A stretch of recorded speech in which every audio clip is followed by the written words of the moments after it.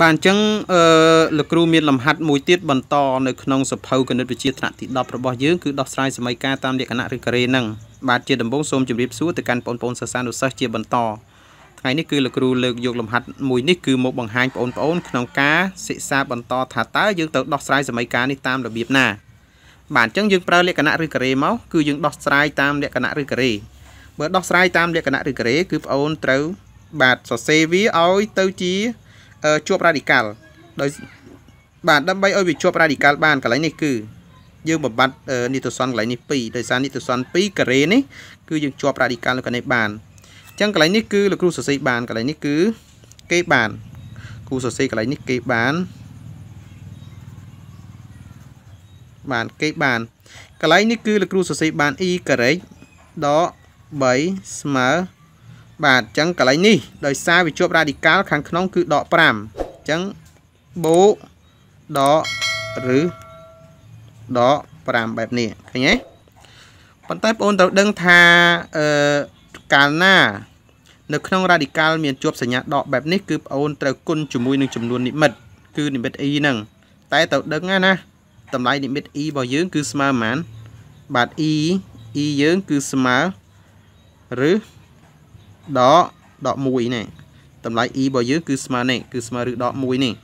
អញ្ចឹងយើងទៅគុណមួយ e នេះអានេះគឺទៅគុណមួយ e គឺបានន័យថាវាគុណមួយដកឬ1នេះអញ្ចឹងមានន័យថាវាបាត់សញ្ញាដកកន្លែងនេះគឺយើងសរសេរបាន e ការ៉េបាទ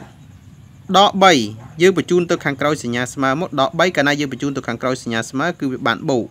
ស្មើនឹង3បាទបូក3នេះរួចបូក ដកឬ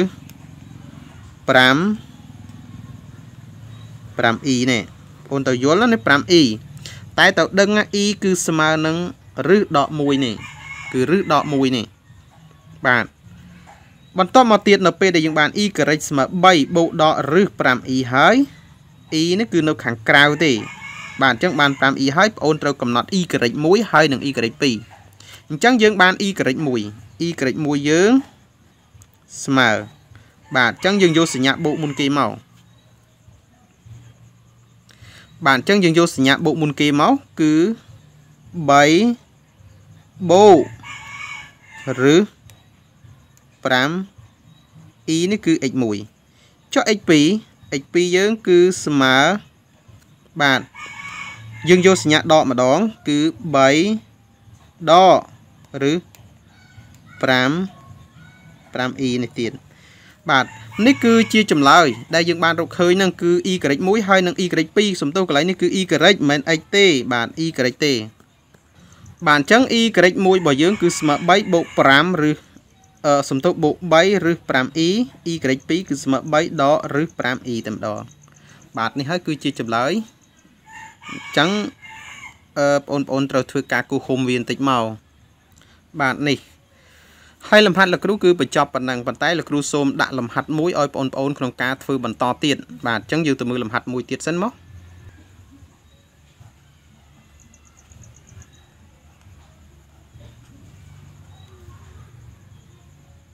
បាទអញ្ចឹងលំហាត់ទី1របស់យើង គឺលោកគ្រូឲ្យ x បូក4ការ៉េគឺស្មើដល់6តែម្ដង បាទនេះគឺជាលំហាត់ដែលលោកគ្រូឲ្យបងប្អូនក្នុងការដោះស្រាយបន្ទាប់ពីបងប្អូនមើលលំហាត់អឺដែលលោកគ្រូបានបង្ហាញនៅអឺទៅកាន់បងប្អូនហើយគឺបងប្អូនអាចយក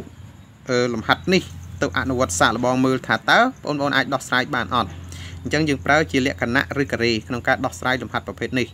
បើវាជាប់សញ្ញាដកបែបនេះគឺបងប្អូនត្រូវដឹងថាវាមានឫសពីរដូចគ្នាដែរប៉ុន្តែឫសពីរវាគឺជាចំនួនកុំភ្លេចឆ្លាស់ អញ្ចឹងឬពីរបស់វាគឺជាចំនួនកុំភ្លេចឆ្លាស់អញ្ចឹងបងទៅចាំទៅយល់កន្លែងហ្នឹងប៉ុន្តែបើសិនតែវាធំជាង0វាអត់ជាប់សញ្ញាដកនេះទេអញ្ចឹងបានន័យថាវាមានឬពីគឺជាចំនួនពិតមិនមែនជាចំនួនកុំភ្លេចឆ្លាស់ទេគឺជាចំនួនពិតតែម្ដងអញ្ចឹងយើងទាញធម្មតាមកគឺទោះបីវាជាប់រ៉ាឌីកាល់ក៏វានៅក្នុងចំនួនពិតដែរប៉ុន្តែរូបនេះគឺវាជាប់រ៉ាឌីកាល់ប៉ុន្តែវានៅក្នុងអឺចំនួននិមិត្តបាទឬ2ជាចំនួនកុំភ្លេចឆ្លាស់គ្នាហ្នឹង បាទអញ្ចឹងលំហាត់ដែលលោកគ្រូបង្ហាញទៅកាន់បងប្អូននៅពេលនេះគឺលោកគ្រូសូមបញ្ចប់តែប៉ុណ្្នឹងទេអរគុណដល់ការតាមដានរបស់បងប្អូនសិស្សានុសិស្សដែលកំពុងតែតាមដានមើលការបង្រៀនរបស់លោកគ្រូតាំងពីដើមរហូតដល់ចប់បាទអញ្ចឹងសូមបងប្អូនដែលអត់យល់សូមខមមិននៅខាងក្រោមវីដេអូរបស់លោកគ្រូអញ្ចឹងលោកគ្រូនឹងធ្វើការបញ្យល់ទៅកាន់បងប្អូនបន្តទៀតបាទចុងក្រោយសូមបងប្អូនកុំភ្លេចជួយ like ជួយ share ហើយនឹងជួយ subscribe នៅ channel របស់លោកគ្រូ